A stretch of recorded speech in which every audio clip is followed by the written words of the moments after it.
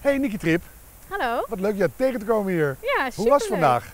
Eh, interessante dag, want we zaten bij een sessie eh, met wat CEO's. En eh, daar was ook de CEO van Tata Steel. Mhm.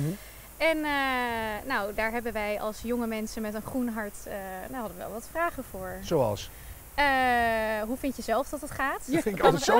Nee, maar hou beetje- weer. Vind ik met nu al een fijne vraag. Ja, nou Ja, ja, dat en dan eigenlijk een beetje kort. de strekking En van wat het zei die?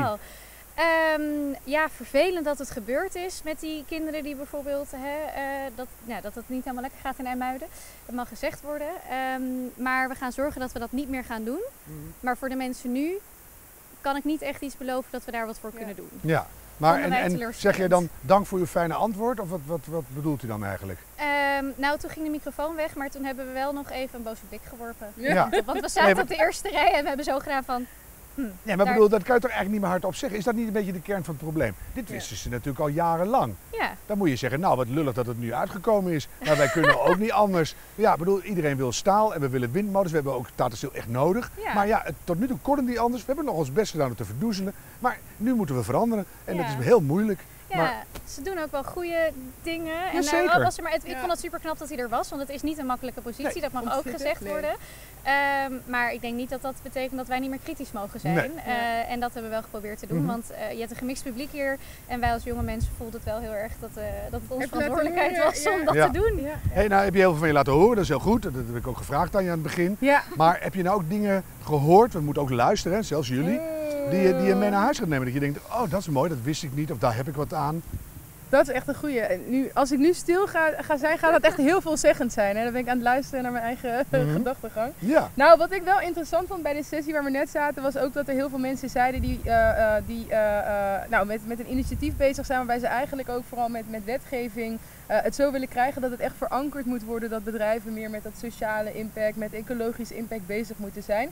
Ik vond daar de respons wel heel erg interessant op, want de mensen, er waren heel veel mensen eh, die waren het ermee eens, maar die hadden wel de kanttekening dat, eh, nou ja, wat doet dat eigenlijk met intrinsieke motivatie van bedrijven en hoe dat gaat.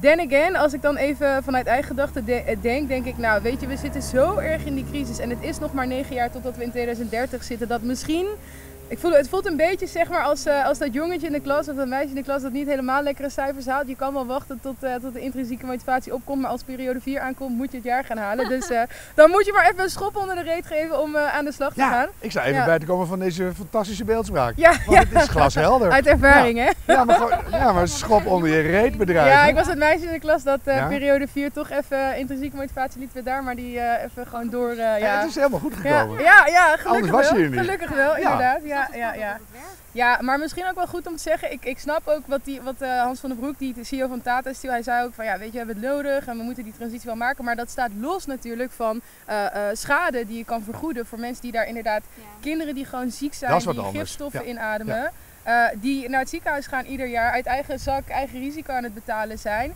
Ze hebben, eh, through no fault of their own, vooral, weet je. Ze hebben daar niks mee te maken met dat Tata maar hebben de consequenties wel gewoon Ja. nou, dik in de zak zitten. En daar, daar kan wel gewoon wat gedaan aan worden, Ja. weet je. Ja. Geen pechgeneratie worden daar. Ja. Dat, dat, dat we het nu niet meer doen, of dat we het nu beter doen, maar die generatie die dan pech heeft, Nee, moet je ze even zelf uitzoeken. Ja. Dat Nee, kan niet zo kan zijn. niet. Je zou, je zou bijna zeggen, Tata, stil je toekomst.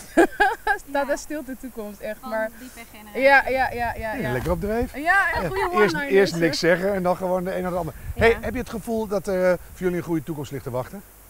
Eh, dat weet ik nog niet zeker, maar ik eh, ben positief en Mhm. ik eh, denk dat ik er heel weinig aan heb om te denken dat het niet zo is. Ja. Dus zolang er nog iets te winnen valt, ga ik heel hard mijn best doen en ga ik proberen alle boomers mee te krijgen en gaan we het gewoon met z'n allen doen. Boomers? Ja, die zijn Oude ook. mensen. Ik wou zeggen, ik ben een boomer. Ja. Nou niet eens, ik ben nog ouder dan een boomer. Nou, nee, ik ben een pre, ik ben een postboomer. Ja, Ja, ik wilde zeggen, Hou Generation X.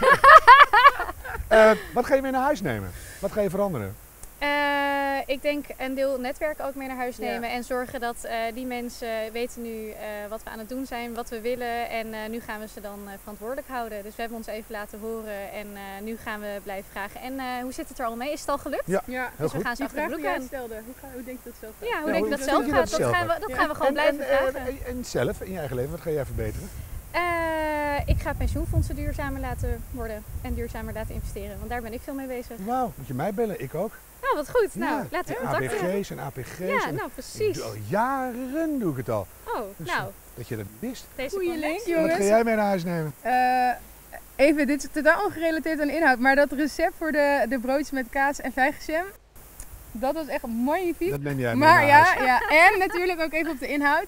Eh, wij gaan, ik ga aan de slag eh, na, dit, eh, na dit forum om eh, jonge, jonge mensen ook op bestuursposities te krijgen. Zodat zij vanuit dat brede welvaart en toekomstperspectief 2030, 2050, maar vooral 2100, eh, eigenlijk kunnen gaan leiden. 2100. 2100. Ja, geef niet. 2000, ja, nee. Ja. Dat is dan Ja. weer dat Ja, maar dat luisteren is- naar jou, leren samen. hè? Ja, Ja, dat werkt we wel. zijn een goed team, hè? Ja, we moeten samen op pad, Harm. Dankjewel, dames. Oh, dat mag niet meer. Burgers. Ja. Burgers? Ja, dames mag niet meer. Mag niet meer. Burgers. Oh. Dankjewel. Veel geluk.